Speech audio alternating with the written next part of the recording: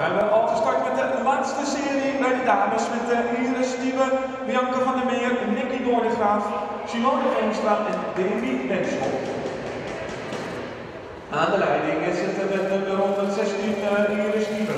Tweede positie zien we dan Nicky Noordegraaf en daarachter is dan de Bianca van der Meer. Dat zijn de drie dames aan de leiding in deze uh, serie 500 meter. Davy Benschop probeert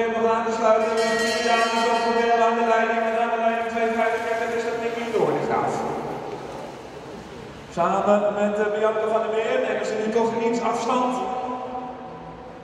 Nou, we kijken wie hier als eerste over de finish komt.